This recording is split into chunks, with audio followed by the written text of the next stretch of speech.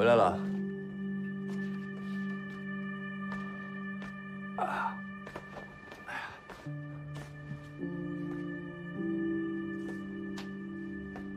彤彤睡了。老婆，我跟你说个事儿啊，我妈。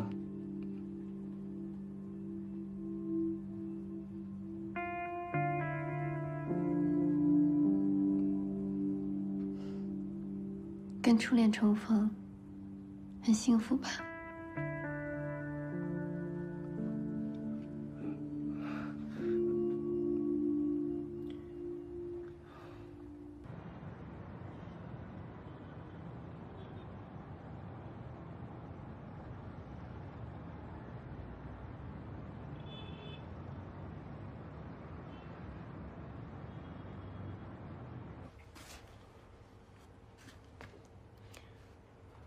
老婆，挺晚的了，进屋休息吧。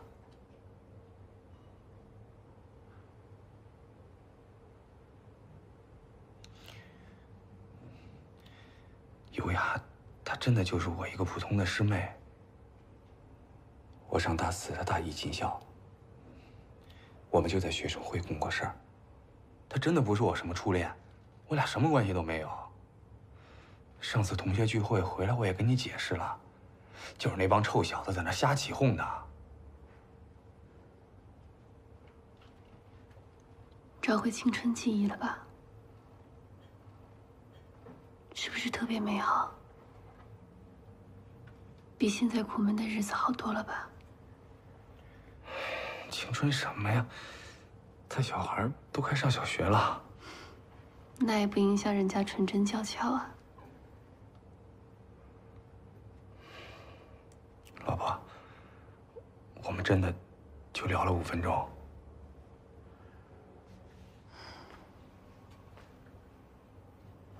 为什么骗我说加班？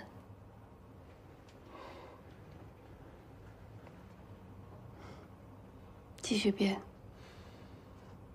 还能编得下去吗？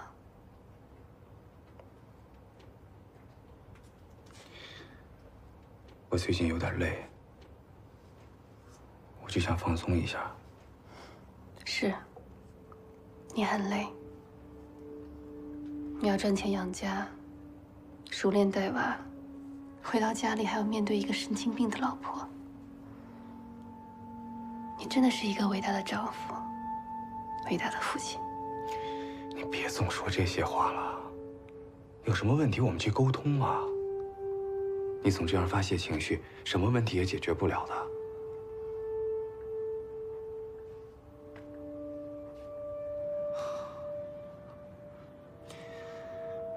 最近是有点沮丧，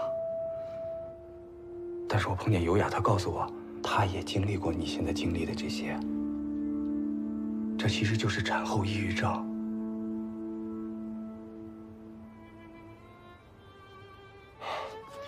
老婆，你千万别害怕啊，也不要有心理负担。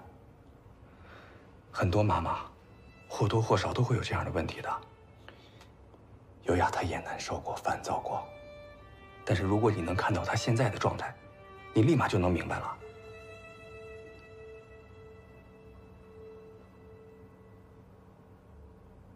你看过那条新闻吗？一个妈妈抛下两个孩子，离家出走了。一个孩子两岁，而另一个孩子才几个月大。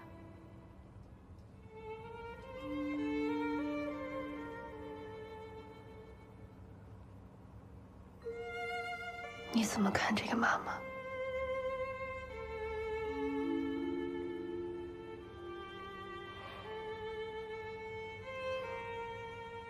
可怜是挺可怜的，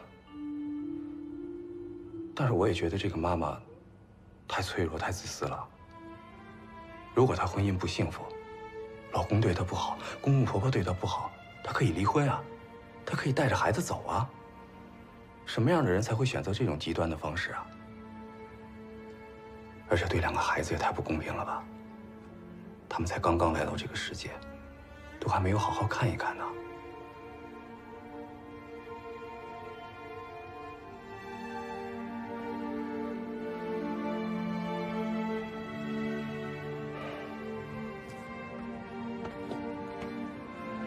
老婆，咱们再坚持坚持，把这段给挺过去。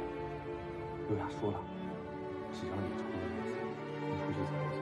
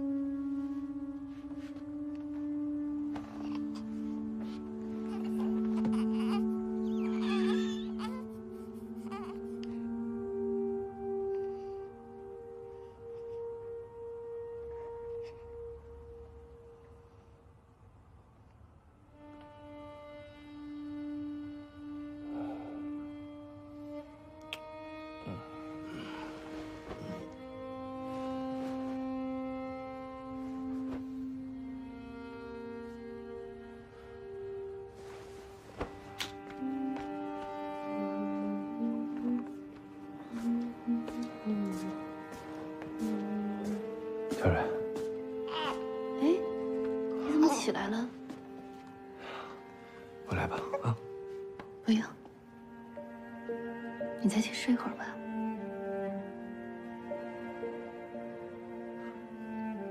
那你要是累了，就把我叫醒。嗯，去吧。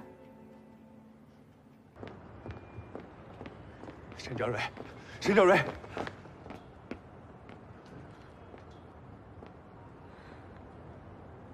我不是跟你说过了吗？以后不要到这儿来找我。离婚协议书我已经寄给你了，我们约个时间，去民政局吧。你真想清楚了吗？是。这一个月，我都在想这件事情，不止这一个月，